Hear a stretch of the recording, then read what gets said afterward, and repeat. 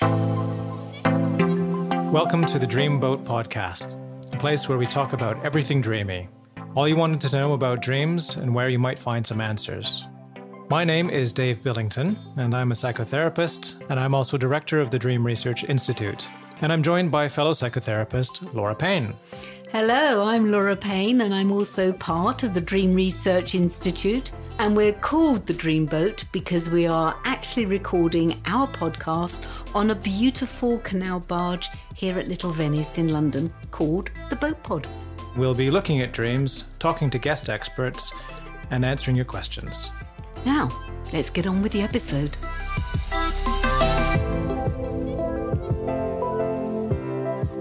While we ponder on the nature of dreams and why we dream, and many of the modern interpretations of our dreams as our unconscious yearnings, we can't ignore the whole concept of dreams as inspiration, where the dreamer has dreamt that eureka moment. Yes, historical dreamers and famous dreamers today acknowledge that their discoveries, their artwork, their literature, or even movies came about during a dream.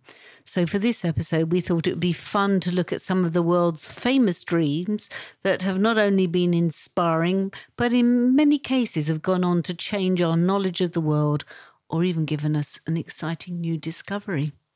So, Dave, what's been the famous dream that you've found? For me, the number one is that Einstein actually dreamt his groundbreaking theory of relativity. Hmm. So, uh, Einstein's theory of relativity came to him in a dream about cows. I love this. so he dreamed he was walking through a farm when he came upon some cows by an electric fence. And then he saw the cows jump at the same time as the fence gave them an electric shock.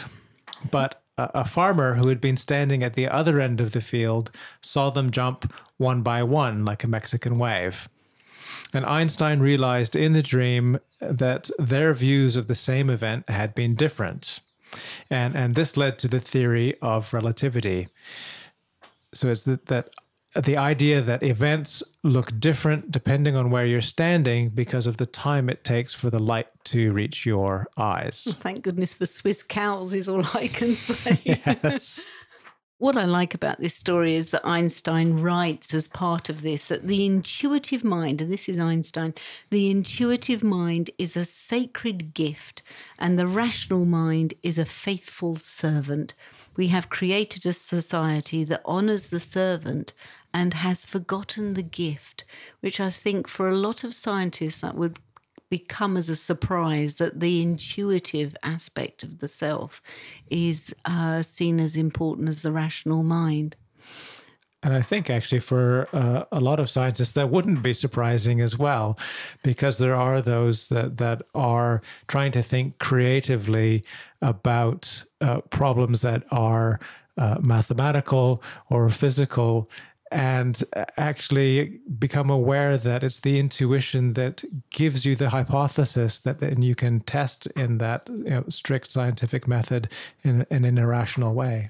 Yeah, I was reading uh, one neuroscientist who said the truth is that the mind requires sleep, intuition, and unconscious modes of cognitive processing for problem solving and the generation of innovative ideas. So there is something about the freedom that the rational mind has when it's asleep that can provide a sort of fertile, fertile turf for looking at things in a different way.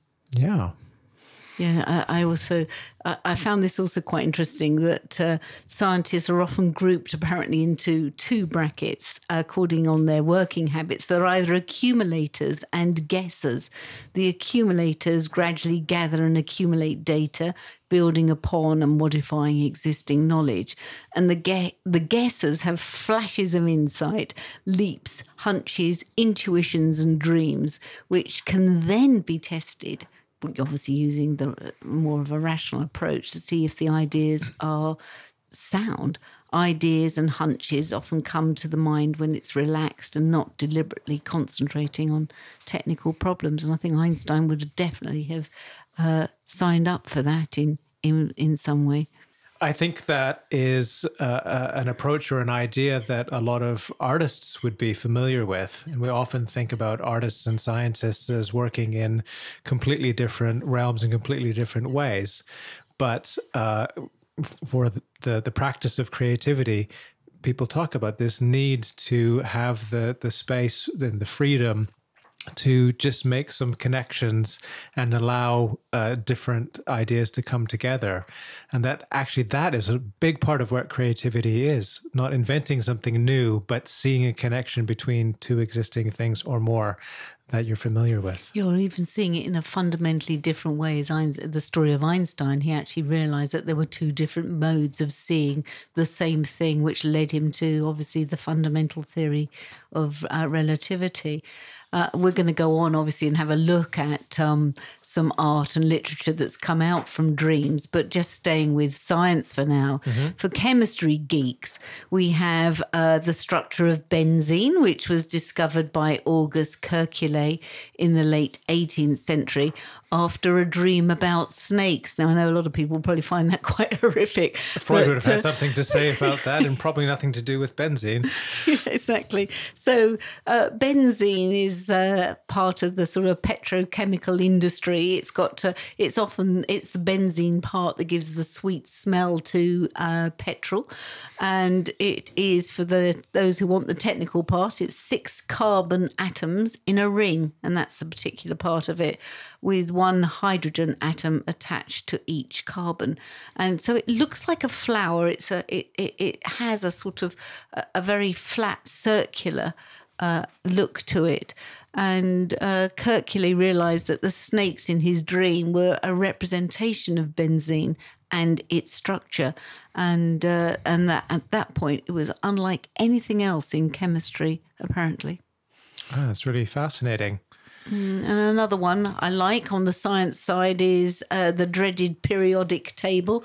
Those of you who have studied chemistry will know that uh, it's uh, something that you have to memorize and probably curse whoever invented it. Well, take a bow, Dmitry Mendeleev the late 19th century Russian chemist who was exhausted from three days, apparently, of trying to classify the 56 elements. So he quite rightly decided he was going to sleep on it. And he writes, I saw in a dream a table where all the elements fell into place as required. Awakening, I immediately wrote it down on a piece of paper and apparently only in one place did a correction seem later necessary. Wow. I really like that, and it is quite visual, I suppose, when you see it. But again, the the ability for the mind to organize thoughts and facts and data, but structure it, as you say, from an imaginative point of view into something that's very visual. Well, and it really puts a contrast to an idea that a lot of people seem to have about uh, dreams and, and the sleep state that it's kind of there's this randomness to it.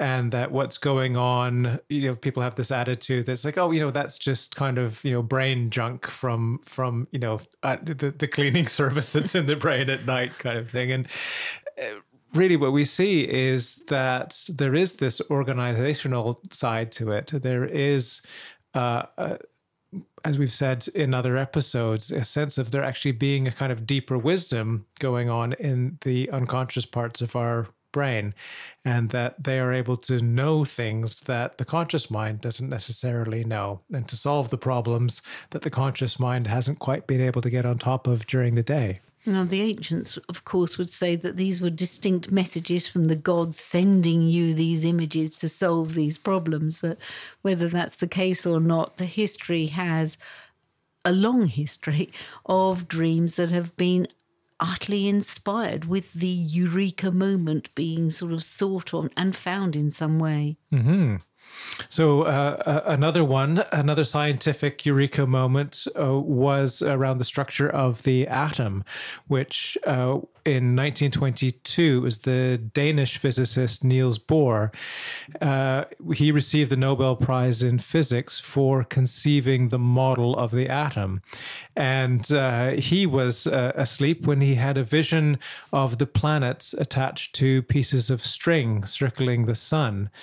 And he woke up from this dream and he could suddenly envision the way that uh, electrons moved uh, around the nucleus of the atom. Amazing, amazing. I think DNA is the same as well, isn't it? Yeah. Uh, one of the uh, greatest scientific discoveries of all time was the discovery of DNA's structure. Uh, and this was a Dr. James Watson. So, again, with the snakes, he had a dream that involved two snakes intertwined with heads at opposite ends, uh, leading to his consideration of, of the double helix that we now know.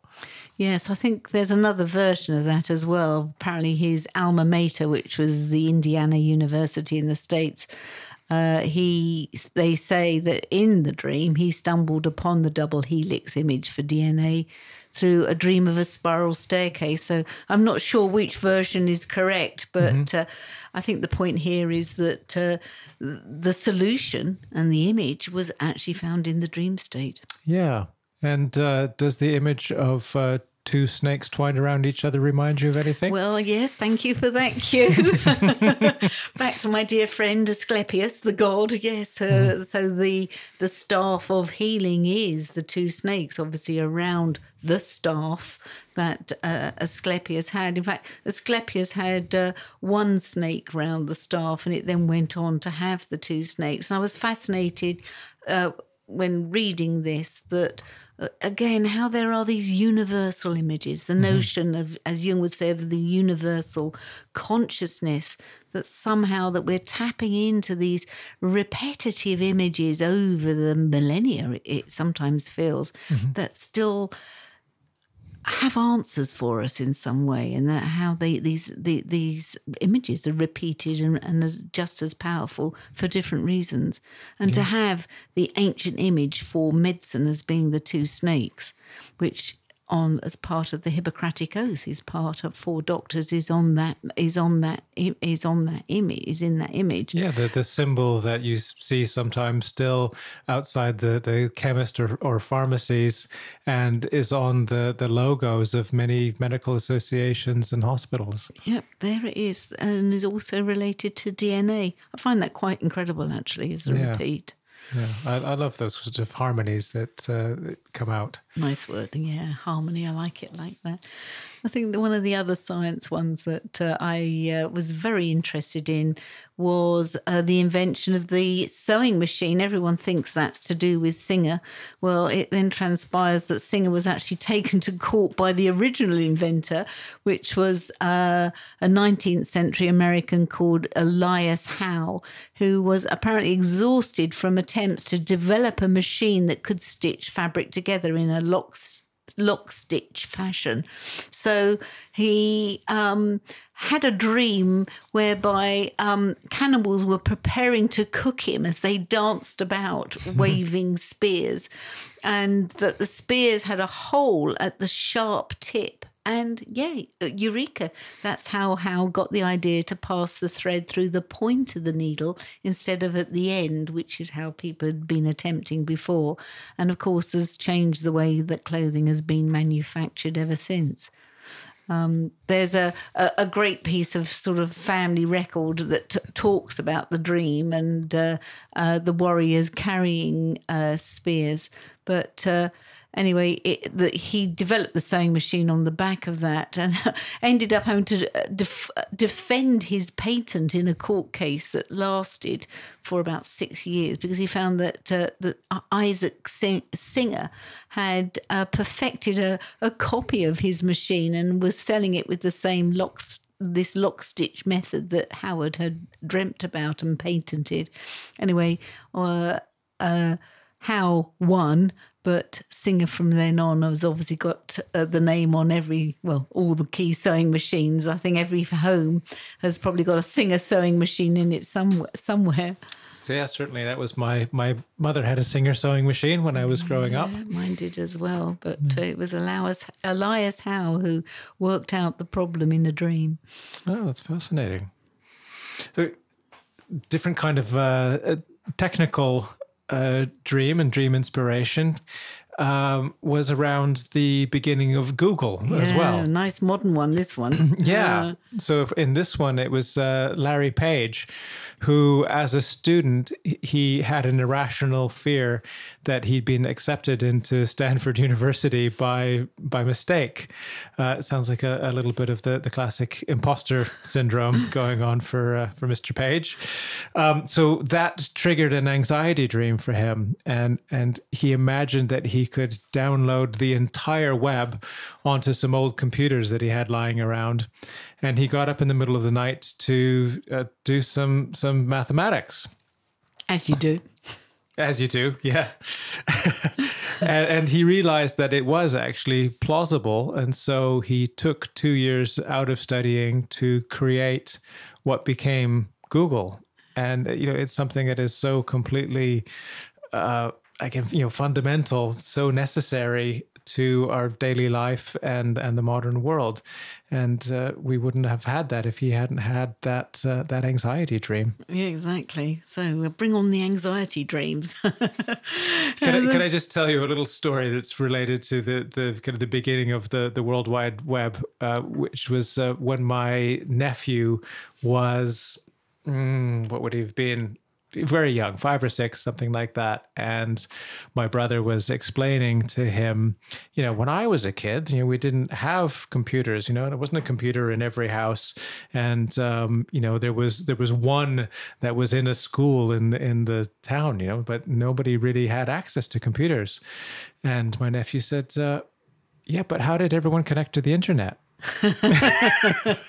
oh, Yeah, that's amazing, isn't it? yeah, You know, if you think about it, you know, to Google is a verb. Yeah. You know, it's that ubiquitous now. You saying that reminded me of a of uh, my nephew. I was looking for something, and uh, he, I was. was- I think it was helping him with his homework. So I said, "Oh well, should we have a have a little look?" So he turned. He was only young, and he said, "Yes, Auntie."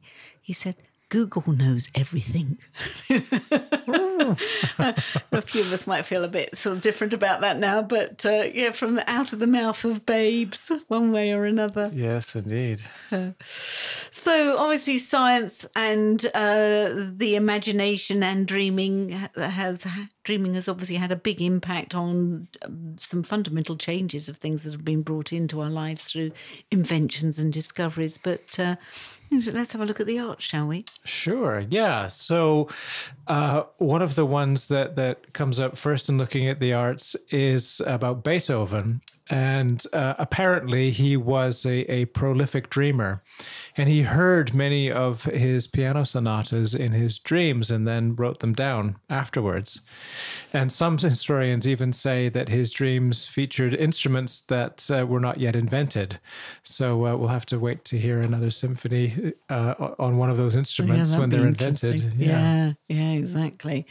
And uh, I mean, we've then obviously got uh, uh, Paul McCartney during the Beatles era wrote "Yesterday" while dreaming, and uh, he woke up apparently with the music in his head. And I can understand that. Actually, I often wake up thinking and hearing music, but not something that I would be able to write down as I'm not a musician.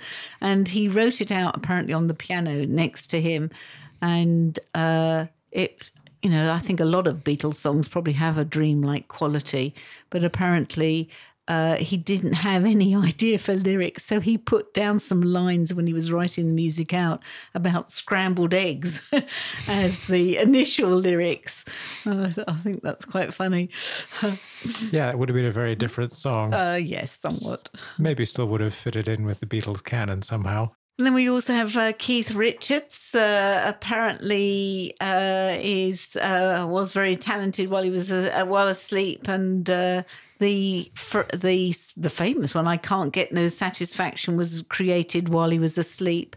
Apparently, he would go to bed with his guitar and wake up the next morning, and um, had been basically had left a tape recording machine running all night, and he realised that when he woke up, that the tape machine had run to the very end, and um, he wondered whether he'd actually played anything or whatever during the night. And so he hit the button apparently while he was asleep. And so when he played it back, there is this apparent ghostly version of the opening verse to I Can't Get No Satisfaction. And uh, apparently, after the opening verse, there are 40 minutes of him snoring. Given some of Keith Richards' habits, it's amazing that he knew when he was awake and when he was asleep back in the 70s. yeah, so that, that's on the music front. Yeah, so maybe we can turn to literature. And uh, if you're interested, uh, a friend of the show, Alice Vernon, has written in her book Night Terrors about the origins uh, of some of the the famous works of literature that were inspired by by dreams.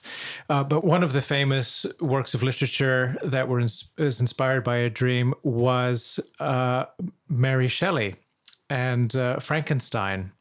And there's this quote from uh, Mary Shelley talking about the, the genesis of that book and of that story. She says, I saw the pale student of unhallowed arts kneeling beside the thing he had put together.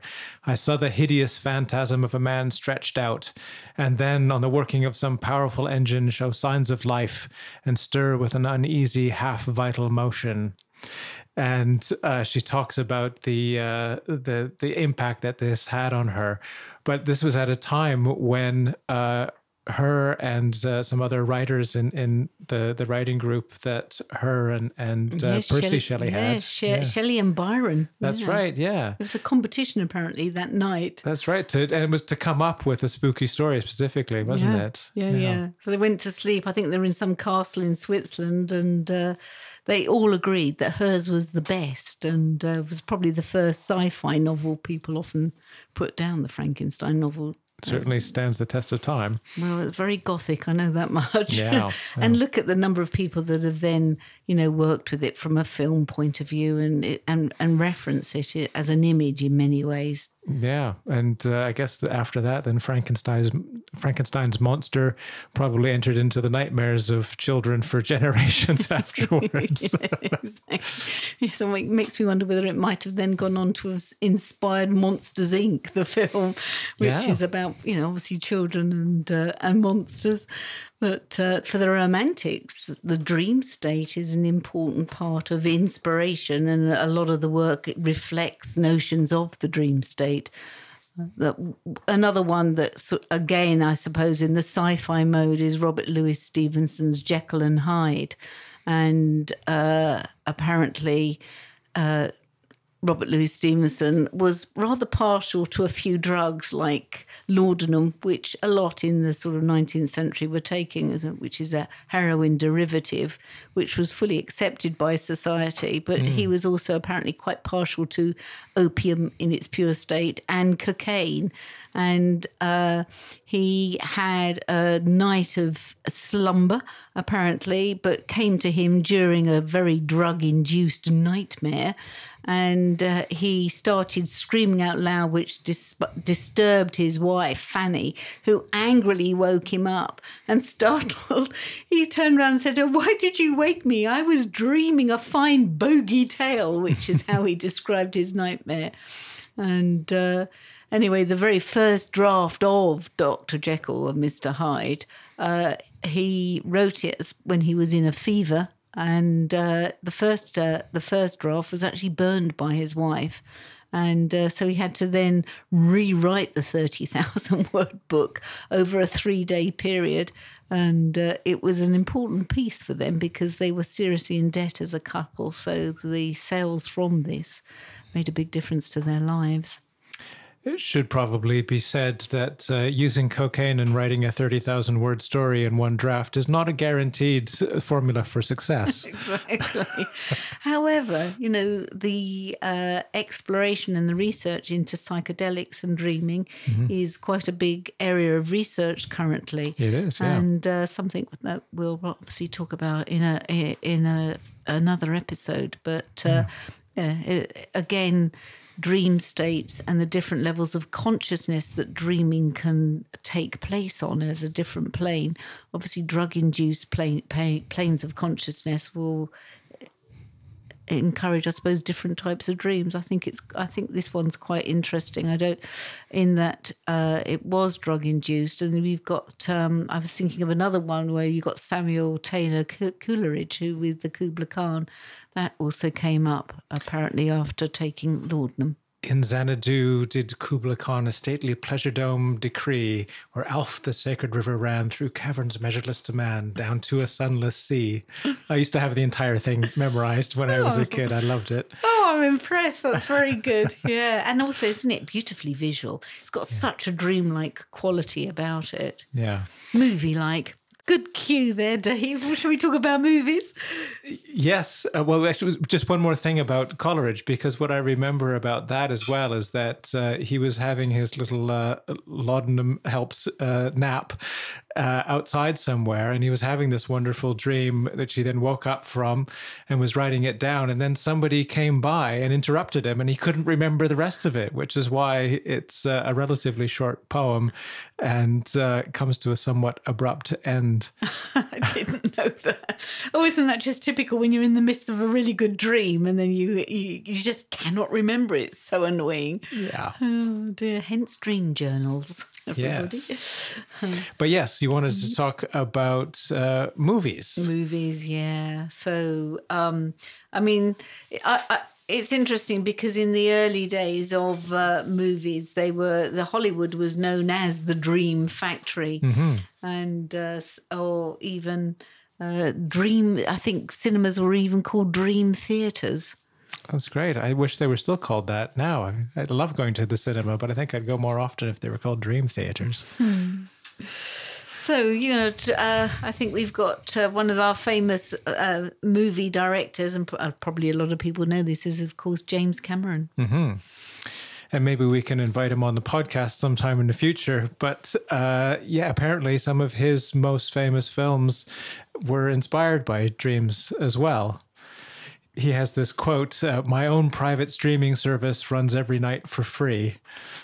Yeah, exactly. And uh, so we've got uh, I think one of the uh, dreams that he had, which was inspired again uh, from a fever, a bit like Robert Louis Stevenson, he imagined an explosion, and coming out of it was a robot cut in half, clutching kitchen knives and crawling towards him. And that was the start of he sketched the Terminator down when he woke up. And obviously, uh, the actor Arnold Schwarzenegger made the character his own. Yeah and so then we uh, we go on obviously to the, the, the Avatar franchise, which came to I, I, didn't realize this came to him as a teenage dream. Oh. So um, now uh, sixty eight, he first had the idea um, when he was a nineteen year old college student, and uh, again.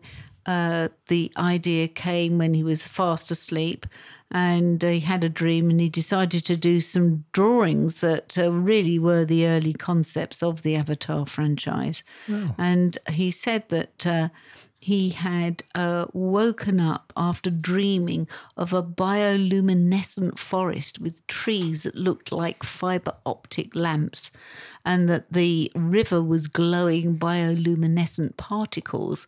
And there was a kind of purple moss on the ground that lit up when you walked on it. And then there were these kind of lizards, he said, that didn't look like much until they took off. And they turned into rotating fans like a living frisbee. And they would come down and land on something. And it was all in the dream. And he said that he woke up super excited and actually drew it all down. And he actually has the drawings. And so that uh, he says now that it saved them from several lawsuits because he could show them the drawings and, uh, you know, and, and point out that he did them when he was 19 and going to junior college. And uh, he could show people the glowing trees and the purple moss and the flying lizards. It's amazing. Um, and it is. It's all in those films, isn't it? I can, I can picture it now as, as you're describing it. Yeah. It's uh, so um, interesting again. I think in, in many ways, movies lend themselves or dreams lend themselves to movies. I was thinking Salvador Dali in particular uh, did a series of films about based on dreams, which obviously you know brings us on to uh, dreams and art. Uh, the art, uh, you know, dreams have been in, an inspiration for so much art. Uh, that uh, you know, I was sort of spoilt for choice. Really, I was looking at a lot of the William Blake illustrations and yeah. drawings, which are uh, again come come out of him his his dream state. Obviously, for the surrealists, you know, dream and reality existed on the same plane, and for a lot of them, their dreams were the, their art were their dreams just recreated in some way. Yeah, and they were often really inspired by the ideas coming out of psychoanalysis and the idea of you know, this kind of the, the forbidden and the repressed that's hidden in the unconscious and kind of actively pursued those dreams. And you look at Dali's paintings, which are you know full of images of of uh, sex and sexuality, as well as you know just peculiarity and you know time being bent and and space uh, being flexible and malleable uh, you can really see that that they do come directly out of the dream world. Yeah, apparently Dali met Freud, and Freud was really confused by Dali, and uh, uh, he couldn't understand uh, how uh, Dali got to where he got to in some of the dreams, and, and didn't really fully accept some of Freud's uh, propositions around the dream state. Anyway, he Dali obviously had, and you know look, go and have a look at the metamorphosis of Narcissus. I think that's a really interesting dream to have a look at. Uh, but either way, there is a wonderful uh, portrait of Freud that was done by Dali after their meeting, and uh, so something came out of the, the them getting together. Uh, there's also uh, other artists. There's uh, Leonora Carrington. There's a, a, wonderful portrait that she did, which is in the National Portrait Gallery in London. Uh, Max Ernst and uh, Rene Magritte, who uh, was a real inspiration for me when I was uh, probably a teenager and I was interested in art and I was interested in dreams and, and it was kind of he was my introduction into surrealism with his wonderful, odd, really uh, dreamlike uh, images that he created. Mm. So, what do you think is going on here? Because obviously, you know, we, we've talked about the image and the dream state. I, I'm always curious about that moment just before you wake or as you are waking. Mm-hmm. Uh, if any of you've got a Fitbit or a smartwatch of some kind, you'll you'll know when you then go back if you've got the ability to look at the sleep app part of that that just before you wake very often is when you have your REM sleep, your rapid eye movement sleep, which is when we know that we are we are in our dream state. Mm-hmm. So it's interesting. I, I I'm curious about that what I call that fertile zone between sleep and wake that is full of imagery, but you're you it's tangible. You you can play with it in some way. I know a lot of people, a lot of business people will say that if they've got problems, uh, the solution comes in that early morning slumber as you're just waking up. Yeah. You can you it's it's tangible in some way. Yeah, the the way that I would would look at that is that is this time when the barrier, which is often quite firm, uh, between the conscious aspect of ourselves and the unconscious part of ourselves is thin. You know, and for some people, that barrier is so firm that they don't remember their dreams at all, uh, maybe for periods of time or, or, you know, maybe just habitually they don't remember their dreams. But for other people, it's actually a window that you can look through. And what it brings up for me is is this idea that comes from from Jung that when the the conscious and the unconscious can meet, it's like there's this release of energy within the psyche, and and within the the consciousness. When they're separated, then that it's like the the two poles of the battery can't quite meet. And so I feel like that's such an exciting time for that kind of generative power of the conscious and the unconscious meeting. I think that's really lovely. It's what what the ancients would have called the lifting of the veil. Yeah. It has that same sort of feel.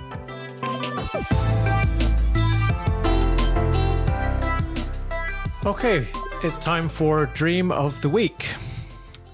And for the dream of the week this time, we're doing the second part of uh, a two part dream. We talked about the first part in uh, an earlier episode. And if you remember, it was the dream that started with uh, going out with some companions, and then the dreamer ends up down on a, a, a muddy, dried up riverbed and she gets caught up in a landslide. She gets the message you can't go back, you have to go through this. And then she gets washed away into this room where there are warm showers. And she's with a young man, and they're all being cleansed in this uh, kind of spa like place. And she realizes that they need to get out of the doors or they're going to just keep going round and round. So that was the first part of the dream. In the second part of the dream, it starts like this I remember there is a secret passage, and I realize we are all illegal immigrants, and this is our route to the promised land. It's fraught with dangers, and this is just the start of it. I'm with other people, and I'm looking for a door, which I realize is in a plunge pool. And the two men are cautious. I go down and I find a tube like corridor under the water. And I take a breath to go through it, to go under the water, but then I pull out saying, I'm not ready to go through. But this is the way. And the young man goes through. I sit in the water near a young mother and a teenage daughter saying, I'm not ready. The mother goes somewhere and I start sobbing, saying, I don't want to die in that corridor all alone. I don't want to scare the daughter, but I can't stop myself. And then the mother comes back and says, You won't remain there. I would pull you out on the other side. And the implication is that if I die, she won't just leave me there, but I know she will. She has two children to take care of. She's been through this before as well, and I am in awe at her courage to do it again and with two children. And that's the end of the dream. And just just to remind you, uh, Laura, again of, of yeah. what was uh, in the background, was the context of the dream? The dreamer said that uh, she's just started on a psychotherapy course and uh, is is kind of uh, fighting against this idea or working with this idea as well that that the process uh, has to be under my ego's control, or maybe it doesn't work that way and uh, she's been processing the fear of things that are not under her conscious control. And also, she said the day before the dream, she behaved in a way that made her feel guilty and recognized that there is more work to be done. Yeah. It's a really interesting dream, isn't it? I, I'm always fascinated by passageways in dreams. Yeah obviously they can represent so many things particularly if they're secret. Is that part of ourselves? Is it part of an area of ourselves that we have shut away and we don't want to go into? Mm-hmm. also there there was a great sensation of this what uh, being what i would call a birthing dream. Yes that's exactly where my mind yeah, went to. Yeah. Well, uh, it's obviously with the going through the passageway and then there's this sort of tube like corridor and water. It feels very much like a birthing dream. And i was thinking the start of a new course the start of a new development as as a person. Very often when you're doing a psychotherapy course having done one mm-hmm. i remember back thinking you're in therapy and it's almost like some new part of you is looking to be born. Yeah. Yeah it also reminds me then of of you know the dreamers struggling with this idea of uh, maintaining control or letting go of control. And there's something that really seems to harmonize with that idea of birth. It's like this uh, initial moment of there's a process happening and you're not in charge of it. In fact it's in charge of you. And really the only thing to do ultimately is to go along with it. Yeah, go in the flow. go with the flow. And here she is. She's she's in the water, which I think we talked about last time. That that you know, water is often the metaphor for our feeling function, and also the unconscious, as in the dream state as well. That's you often right. get water in dreams that represent that type of stepping in the flow, for want of a better description. Yeah. Did you have any thoughts about the other characters that are in the dream? There's uh, there, there's two men, and there's a young man who goes first, and then there's a mother with she who has a teenage daughter, but apparently she has two children as well. Yes, I was interested. Uh, I was going to ask you that question. well, well, both have a go. both have a go, exactly. Yeah, what do you make of the number two? It's quite symbolic, isn't it? Yeah, well, well, kind of in in the uh, kind of symbology that I often work with, the number two represents the the unconscious or something emerging from the unconscious. Mm.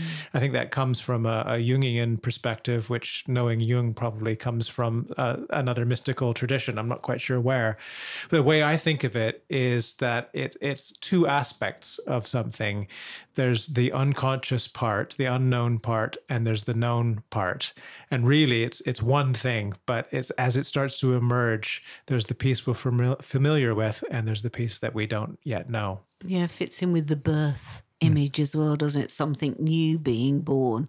Obviously, characters in dreams are always very interesting. And I think if I was working with her, I'd ask her, particularly under the waking dream technique that we talk about, it'd be interesting to take her back into the dream to see if she can see the faces on these characters, whether she actually recognizes them when she goes back in. Mm-hmm. Obviously, for uh, a woman and for a man or either or but the notion of the anima animus figure mm-hmm. that jung talks about the so the masculine qualities are held by the animus and the feminine qualities are held by the anima and we have a couple of very strong anima animus images here the young man which mm-hmm. is very interesting so that feels like it's very potent and powerful and has a very uh, powerful energy in some way. And she say that she sees the young man and he's not ready to go through, or she's ready to go through. I can't quite no, remember. The, the young man goes through first, oh, and, yes. but she's not ready to follow him yeah. yet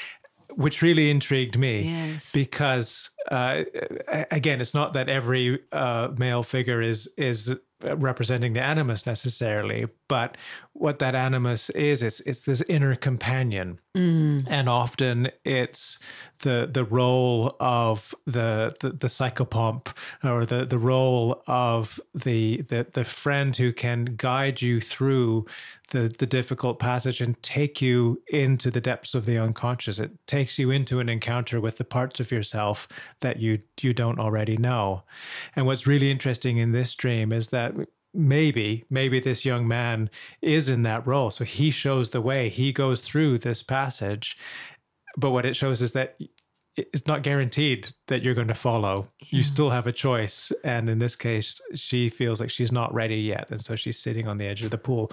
But you know, with all this this feeling coming through that that she's really upset and it feels like it's a kind of a dire situation for her. Yeah, yeah, hearing a beautiful interpretation, Dave. I was thinking, yes, this notion of choice, even in dreams, mm-hmm. our existential self can still choose whether it's going to do something or not. And in there lies her dilemma in yeah. some way. It feels a very, what I would call a very existential dream. Yeah, yeah.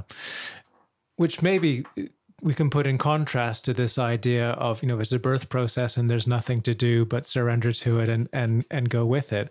It's actually, eh, that is the only way to move forward but you do actually have to choose to surrender. You actually do have to choose to go with the flow. And there's a point at which you do let go of control. But up until that point, yeah, you don't have to go forward. You can actually stay where you are.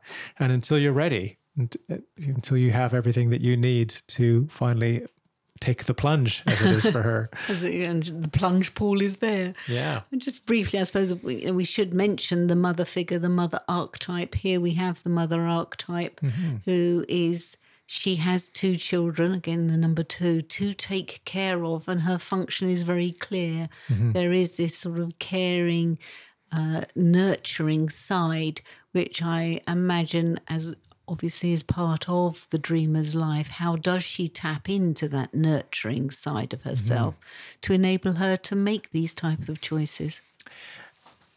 And almost separate from kind of the more universal symbolism that we might see present in this.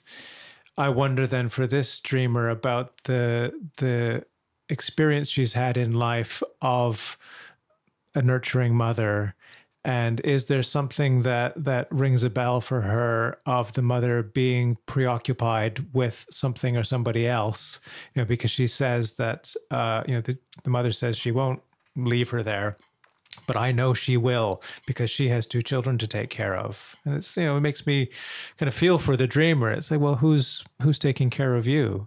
Mm. Yeah, there feels like a lot of material there for somebody to work with in the way that the the mother figure, as you quite rightly say, has been discussed. Yeah. Anyway, it's a really lovely dream, and it's a lovely to have the opportunity to spend time with a longer dream and and see it in in two parts, and uh, see how it continues and expands, and and uh, yeah, just spend some more time with it. So thank you again to the the dreamer who sent that in to us. Well, sweet dreams. Thank you very much, and thank you to everyone for listening. And keep dreaming and keep sharing your dreams. So, thank you for joining us for this week's episode. Don't forget to like us and leave comments on your favourite podcast platform. As I'm sure you know, that's the way we build an audience for the Dreamboat podcast and also to spread news about dreaming. And as we said, there are many ways you can share your dreams at the DRI, the Dream Research Institute. Yes, we have courses, events, and workshops, and we want to hear from you. So check out the show note for links or find us on Instagram as the Dreamboat Podcast, on our Facebook page as Dreamboat Podcast, on Twitter as at Dreamboat Pod, or come and find us at driccpe.org.uk. That's driccpe.org.uk. And you can email us on driinfo at ccpe.org.uk. Once again, that's D-R-I-I-N-F-O at ccpe.org.uk. And if you want to explore your dreams further or would like to support us, you can join the DRI as a member for just £10 a year. Yes, £10 a year. As a member, you will get discounts for our events and short courses. You'll get our newsletter with the latest dream research news, and we will also be adding other special member benefits during the year. Of course, members' dreams will always be given preference for reading on the podcast Dream of the Week slot. This low offer of £10 membership will last through to the end of June 2023. So go to the link on the show notes and become a DRI member today. Keep dreaming and keep sharing your dreams.